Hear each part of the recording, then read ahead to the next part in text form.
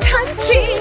Get ready to be triggered. Sensitive topics. Oh, look, they're about to cry. All consent, so we'll see.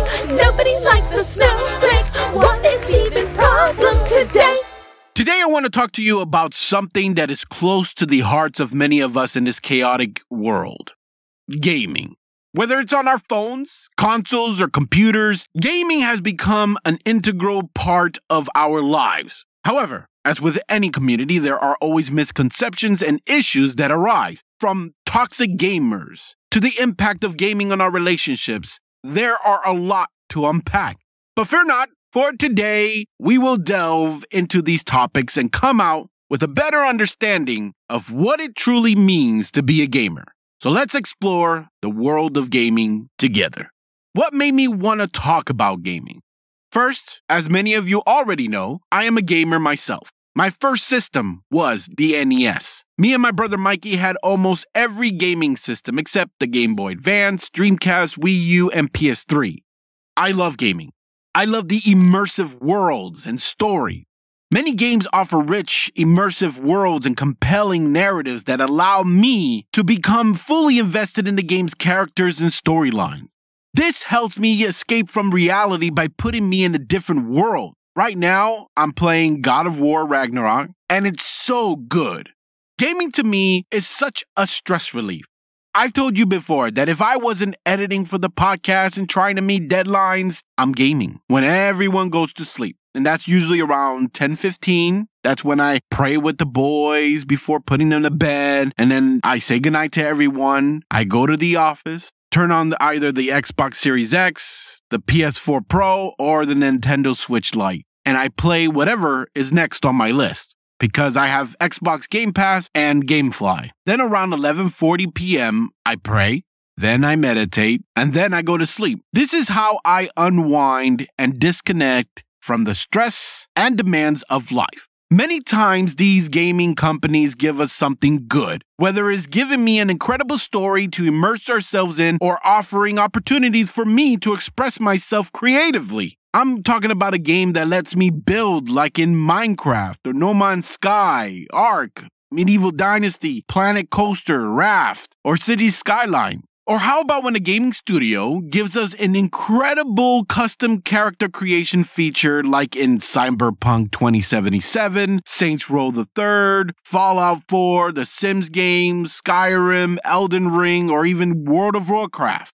I also love those management games too. I don't have a PC because I can't afford it. And if you want to, you know, send me a badass PC. I'm not going to refuse it, you know, just saying. But my favorite management games were Roller Coaster Tycoon, City Skylines, Two Point Hospital, Prison Architect, Surviving Mars, Frostpunk, the Tropico games, Stardew Valley that I play on the iPad. And there are many more games that I would love to play, but I just don't have a PC, you know, because I would love to play the Anno games, the Planet Coaster, Megaquarium, Banished. I, I can't list them all. There's too many. But one day I will have a PC and I'll be able to expand my world of gaming. Anyways, the point is that I love gaming. For many other gamers that play online together, I don't play online really. I play mostly single player games and sometimes online. But for the other gamers that play online together, gaming offers them a social connection. They can connect with others and build social relationships. Multiplayer games allow them to team up and work together and compete against each other, fostering a sense of community and camaraderie. Multiplayer games challenges them. It requires skill and strategy to master. That's why esports was created. And for those of you boomers and Gen Xers that don't know what esport is, esport is competitive video gaming that is played in an official or structured setting, kind of like a basketball game. The industry has created a path that avid gamers can follow if they want to become professional gamers.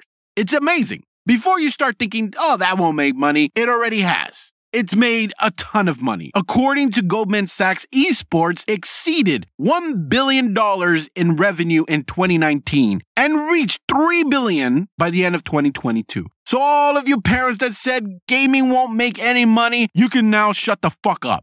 These events give prize money that can range from a few hundred dollars to millions of dollars, depending on the tournament and the game. Esports is not even the only way a gamer can make money. No, Gamers can make money through a variety of ways, depending on their skills and expertise and popularity. You got streaming, where many gamers earn money by streaming their gameplay on platforms like Twitch and YouTube. They earn money through subscriptions, donations, sponsorships, and advertisements popular streamers can earn thousands of dollars per month, especially if they're entertaining like our host, King Ducky. And actually, Gammy and Two Tone, they're streamers as well. Then you got gamers that don't stream like my two favorites, Cartoonz and H2O Delirious. They have a large following. Those type of gamers earn money by creating content related to gaming just by being funny and entertaining. Those gamers usually get sponsorships. Look at Markiplier or even PewDiePie. Gamers with a large following can get sponsored by gaming companies and brands. Sponsorships can include product endorsements, sponsored content, and appearances at events. Sponsorship deals can be very lucrative, and some gamers earn millions of dollars per year. Then there's gamers that don't stream or play games for you. They earn money by creating content related to gaming, like game reviews, walkthroughs, tutorials, or even gaming news. I follow many people on YouTube that do these things. It keeps me informed about things because I don't read the news all the time. So when a new game pops up or a new announcement or something that's going on behind the scenes, I like to be in the know. So I follow these type of gamers. They earn money through ads, sponsorships, and affiliate marketing. And of course, there's game development. Some gamers become game developers themselves. They earn money by creating and selling their own games. So if you see your adult child playing games and trying to make money, shut the fuck up. It's always the people born before 1984 that has something to say about gaming. You know what? I take that back. There's even plenty of millennials that roll their eyes at the mention of gaming too, and most of them are women. These people don't understand gaming, and I've watched them bitch and complain about it on YouTube and TikTok, on news segments, and that's what really caused me to talk about this this month. It's important to note that not all baby boomers and Gen Xers dislike video games, and many do enjoy playing them. However, there may be several reasons why some individuals from these generations have negative perceptions of video games. There's the lack of familiarity. Many boomers and Gen Xers did not grow up with video games as a common form of entertainment. They may not be familiar with how to play them or may view them as a waste of time. The cultural values and interests of baby boomers and Gen Xers may differ from the younger generations who grew up with video games like myself. For example, they may place a greater emphasis on traditional forms of entertainment such as reading, watching TV, watching sports, going to the arcade, stuff like that. Then there's the negative stereotypes. Video games have often been associated with negative stereotypes, such as promoting violence or being addictive. Some baby boomers and Gen Xers may have been influenced by these stereotypes and started forming negative, ignorant opinions about it. And this is important. Video games does not promote violence. I mean, if you look really hard in the dark web, I'm sure you'll find a game that will do just that. And as for being addictive, Studios in other countries are getting in trouble for promoting gambling because of all the loot boxes and the pay to win microtransactions. As video games have become more mainstream and popular, attitudes towards gaming will continue to shift. Many people from older generations now recognize the benefits of video games, such as improving cognitive function. There are several misconceptions that people may have about gamers, and I'm here to defend those group of people like myself that are often misunderstood and unfairly maligned in our society. Here's the first one All gamers are socially awkward. This is the common stereotype that suggests that gamers are isolated and lack social skills. In reality, there are a ton of gamers that have active social lives and go to work and do well. Here's another one Gaming is a waste of time. Like I said with the boomers, there are people that believe that gaming is a pointless hobby that offers no real benefits. However, Gaming can offer several benefits, such as improving cognitive skills, like I said before, fostering social connections, reducing stress, developing skills such as strategic thinking, improve reflexes and hand eye coordination. They could develop problem solving skills and they could learn how to work in a team. These valuable skills can be transferred to real life situations. And here's another one gamers are all young males. While it's true that gaming has traditionally been associated with young men, the gaming industry has changed and has become way more diverse in the recent years. People of all ages and genders play video games today. People like to think that gamers are violent because they are playing violent video games, even though research has shown that there is no direct causal link between playing violent video games and engaging in violent behavior. Another thing that non gamers like to say is that gamers are lazy and unproductive, that it distracts people from more important tasks. This is true in many cases and does have major impacts on relationships, and I will get to that more shortly. But like any hobby, gaming can be enjoyed in moderation without interfering with other responsibilities. Most gamers do this. Gamers are a diverse group of people who come from all walks of life who share a passion for gaming and a love for the community that comes with it. But like I said before, there are people that ruin things, and I'm talking about toxic gamers. To the non gamers who are listening to this episode, a toxic gamer is someone who exhibits negative and often hostile behavior towards other players while playing video games. This behavior can take many forms. It includes insults, harassment, and even threats of violence. Toxic gamers often use excessive profanity, make derogatory comments, and troll people just for fun. They get a kick out of disrupting the gameplay experience of others. These fuckers cheat, use exploits, and engage in other messed up things like that to gain an advantage over other players. These pathetic pieces of shit like to target players based on their gender, race, and sexual orientation. I hate them. They are the reasons why I avoid playing certain multiplayer games. It's supposed to be fun and not stressful. They only create toxic and hostile gaming environments, and I'm not gonna let them mess with my mental illness. Nope, nope, nope. I'd rather play alone. But keep in mind, listeners, that not all gamers are toxic. It's just part of the gaming culture, but it doesn't have to be. Gamers can and should continue to create a positive and inclusive gaming community and try their best to speak out against these fuckbags. So, how do you deal with these toxic gamers? These fucking idiots.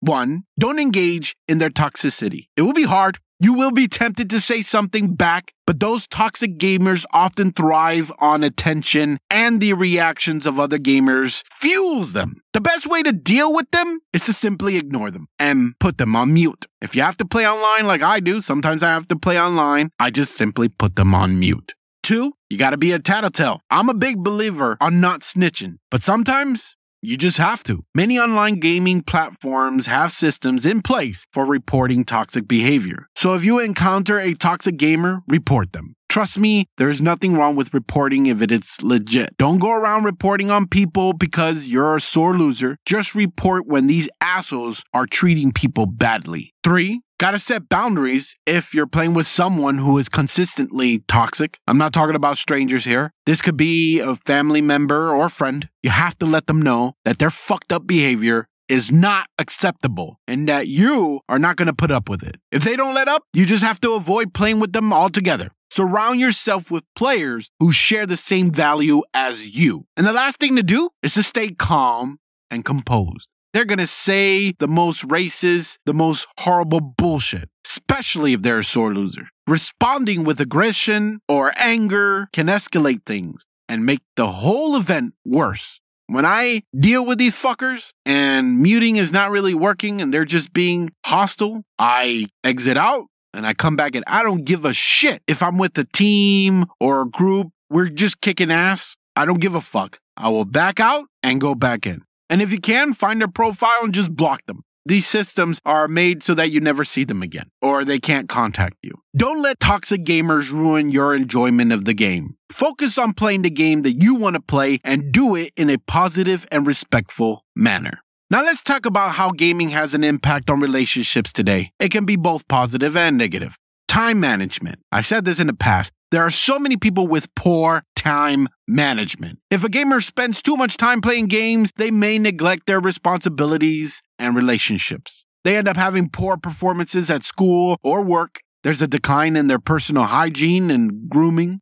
They are more irritable as they are filled with anxiety and anger all the time. Communication, which is super important in any relationship, can be affected by gaming. If a gamer spends a lot of time playing video games, they may not communicate as often as their partner would. This will cause people to argue non stop about this shit. These addicted gamers like to play late into the night, they sacrifice sleep and sex just to game, and they refuse to admit that there's a problem. They get really defensive by lashing out at you for not understanding whenever the issue is brought up. And I'm not saying that you need to go stop gaming when you're in a relationship. No, you have to learn not to spend half the day just gaming. You have to be mentally available for your relationship and for your family and for your community and for your work. I get being addicted to gaming. There are times when I should be going to bed and I just want to get that one more level done and it end up being way longer than I expected. I am pretty good at it. That doesn't happen all the time because when it's time to wrap it up, I wrap it up and I look forward to continuing the story the next day. To me, there's no rush to finish a game. Yes, you're going to see all these new trailers and these new things, and maybe people that you're within your group, hey, have you played it? Have you played that? They're ahead of you. That's what it feels like. No, you take your fucking time, or you do your best to split to say, hey,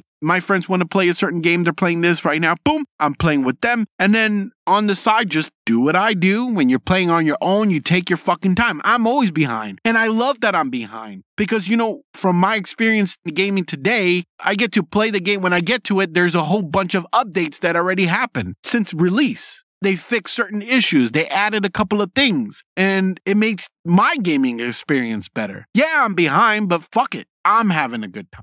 Anyways, if you're addicted to gaming, if you feel like you lost control, if you feel like gaming has taken priority over other areas of life, and if you feel like gaming has made you feel like shit, the best thing to do is to pray about it and go to therapy. If you don't pray, then still go to therapy or counseling. They will be able to help you slowly get back on track by focusing on your offline life, by providing additional support and guidance on how to make positive changes. If you don't want to go to counseling, then do these steps that might help you. First, set limits. Do what I do. Schedule specific times for gaming and limit the duration of playing the game. Also, learn to take breaks and stretch and move around. This will help you also to practice mindfulness. That means learning to be aware of your gaming habits so you can better manage the impulses. Two, find other things to do. I do more things than just gaming. You could be into sports. You could make a podcast. You could write a book. You could draw, make some music, anything you fucking want. This can provide a good balance to gaming. Three, Set goals for yourself. And I'm not talking about getting 100% achievement or trophies or anything like that. I'm talking about improving the grades at school, making work your bitch, and start taking names so that you can start banking. I'm talking about starting that side hustle that you've been wanting to do. This will help provide much needed motivation and a sense of accomplishment. The last thing is to improve your physical health by eating a balanced diet, getting regular exercise, and getting enough sleep. I understand that gaming addiction is a complex issue and it may take some time and effort to make that change last. You just have to remember to be extremely patient and also persistent. Consistency is key. So, how about the advice for a couple that one is a gamer and the other is not? It is definitely possible for a relationship to thrive even though one is the only gamer. So here are some tips on how to compromise and maintain a healthy relationship without being at each other's throats and always fighting about gaming. Some things I'm going to say will feel like a repeat, but just listen. First thing you have to do, like I already said, is communication, communication, communication. You have to be open and honest about each other's feelings and concerns. If the non gaming person feels neglected or frustrated, it is very important to talk about it. It will help you both find solutions that work for the both of you. Two, like I said, follow a routine or schedule. Set specific times for gaming, but also schedule specific times to spend together. It is very important to figure out something that you both agree on. Three, respect. The gaming partner should be mindful of the noise level and be considerate of their partner's schedule. And the non gamer partner needs to be not a nagger to the gamer and also be considerate. And the next thing that you both need to do is to find common ground. When it's time to spend time together, find something that you both would enjoy. You could be going to a theme park, going to a movie, or going out to eat at the favorite restaurant. It doesn't matter what the hell you both are going to do as long as it's something you both love. Finding a shared interest can strengthen the bond between the two of you.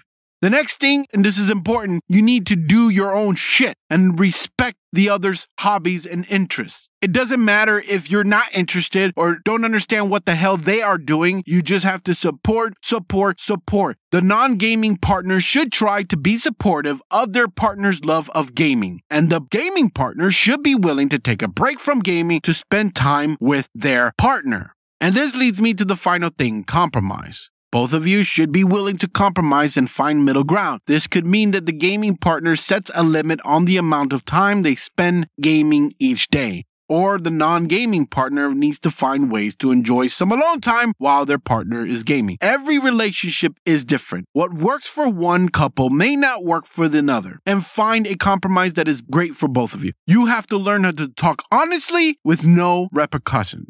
That means, hey, I'm going to say something and the other person that's going to be doing the listening has to promise that they're not going to react horribly. They're not going to punish that person for speaking honestly. Arguing about gaming is dumb as hell. I've seen so many women complain about their man playing video games. He's always playing that stupid game. Why doesn't he pay attention to me? He's so addicted to that stupid kid shit. Um, excuse me, but what happens when he does turn it off and y'all be chilling and then you expect him to watch you be on social media? You're on your fucking phone because that's what a lot of y'all women are addicted to the fucking social media. When's the last time you watched something together and you didn't look at the phone once? Yeah, that's what I thought. My wife is the same. She used to ask to hang out and watch something. She would pick the show, something we will both be binge watching together or something, or maybe just a random movie. And there goes the phone. I had to put my foot down. I could have been doing some other shit. And and the fact that she's on the phone really didn't bother me. It was something that, you know, would happen and she would either ask a question, "Oh, what happened? What did they say?" or I'll be like, "Oh shit, did you see that? Oh, what happened?" And that just proved that she wasn't really paying attention. So I did two things. I either joined her by getting my iPad and started drawing and planning, emailing, writing and shit, or I put something that I want to watch. She had no choice. I learned that she just wanted that feeling of, well, she wants something playing in the background. She doesn't want to be alone on the couch. This is her relaxing moment. So that was the deal. It's like, hey, you want to be in the right? Okay, if you just want something random in the background, let me watch what I want to watch. Or we put both put something in the background and I'm chilling, you're chilling, but I'm here with you. I get you. I got you. And she's cool about it. We're both cool about it. I love it. She's not like these bitches that would just be so mad if their man said, you know what? I want this, this, and that because they lo- they, they would feel like they lost control. There's nothing. There, there's nothing about control. Uh, I don't know what the fuck they're talking about because it's not about me having control or my wife having control. It's just compromising and understanding each other. Those bitches, they just go on and complain. Then they just want to have a reason to make a TikTok and so that they can complain about the man gaming, thinking that people will side with her. They just keep attempting to embarrass their guy. It's frustrating. And I think if you got an issue with your partner playing video games, then you date people who do not play video games. There's a bunch of people out there that don't play video games. My wife is one of them. I mean, she'll play every now and then Sims or some type of farming thing. Or the last one she was playing is the house flipper games. But She's one of them. A lot of her friends that are like that. I have family members that are like that. There's people that they're happy not gaming. They're fine with not gaming and they know how to do other shit. Date those people. Marry those people. Because I don't understand why do y'all have to go after gamers and try to force them to stop gaming? Let me tell you a dark secret that no one has the balls to tell you. If we didn't have video games, a lot of you would be dead because what kept us calm would be gone. Think about it. We wake up and work is bullshit, school is bullshit, traffic is bullshit, people are bullshit, life is bullshit. And then we get home on our downtime, we turn on that gaming system so we could relax and take all that shit away. But when you take the gaming away, we're murdering people. I promise you that. That's what will happen. And for all of you single people out there who ignore the gamers thinking that it will turn out badly, even though the men and women that you've been dating are way worse, I think you're losing out. Why? Well, first, you will have so much free time. Free to do whatever the hell you want. So many people would love that freedom. If I'm not working on something and want to chill and game, my wife is baking and decorating cookies for her cookie business. Second, you don't have to worry about the gamers cheating. And I'm talking about infidelity, not video game cheating. They don't go out to the bars to get a drink with the friends and meeting people. They don't put themselves in situations that they shouldn't be in. They're more likely at home, sitting at the computer or console, just nerding out. Third, they are great with their hands, you know, quick button pressing, flicking joysticks, perfect for the bedroom. Just saying. There's a bunch of other stuff like that, like being good with the children. Uh, you, you don't have to love games to love a gamer. You just have to accept what he or she enjoy. Loving gamers is about accepting them for who they are. Let's wrap up this segment. I'm 37 years old. Why do I still play video games? Because it makes me feel like a kid again. Because it's a way for me to escape reality, to avoid depression. My mind is constantly going, so when I put those headsets on, I'm lost and immersed in the world. We were given games for one reason not to have the most kills, not to have the most wins. We were given games to have fun. When people say, it's just a game, there's no benefit, how is this going to help you? I say, fuck you. I don't care. It doesn't mean shit to me when they say these things. To me, these are people that have no damn idea what a video game actually means. I remember being a kid playing my first video game. And I'm sure many of you gamers remember playing your first video game. Maybe it was Pokemon. Super Mario, Pac Man, Tetris, Pong, Crash Bandicoot, The Legend of Zelda, Turok, Doom, Super Metroid, Portal, Half Life, Grand Theft Auto, Castlevania, Red Dead Redemption, Halo, The Last of Us, Metal Gear Solid, Tomb Raider, Street Fighter, Minecraft, Civilization, Bioshock, The Witcher, Resident Evil, Mass Effect, Final Fantasy, Fallout, World of Warcraft, StarCraft, Diablo, Overwatch, Call of Duty, Silent Hill, The Sims, Donkey Kong, The Elder Scrolls series, Super Smash Brothers. You get it. I can't list every fucking game that I've ever enjoyed. I'll be here forever. But these were the games that made us gamers. They meant so much to us because it gave us so much. That's why we look forward to the next one. There are so many reasons why we love video games. We might love a character, a story, the environment, or even the soundtrack. Each video game we played meant the world to every single one of us gamers. For you non gamers, this is what it feels like to immerse ourselves into gaming. Your mind is full of noise like this, right? Then you put on your headphones. And then you load up a game. Let's say it's Skyrim. The soundtrack that you're listening right now, from the, it's from the main menu when it starts. Now, you're ready to immerse yourself in an incredible open world action role playing game that allows you to explore a vast and immersive world full of adventure and danger in the northern region of Tamriel, a world filled with magic, dragons, and mythical creatures.